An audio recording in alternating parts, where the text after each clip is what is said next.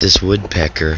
We've been watching him slowly peck a hole in this plastic mailbox. She's been working at it really hard.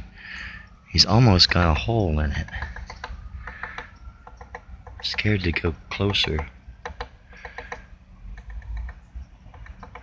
But this guy's been working at this hole so hard.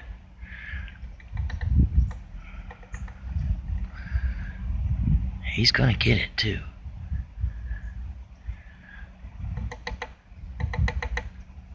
I wonder if that feels like, you know, that drilling in your head to whack your head that hard up against plastic, hard enough to make a hole in it.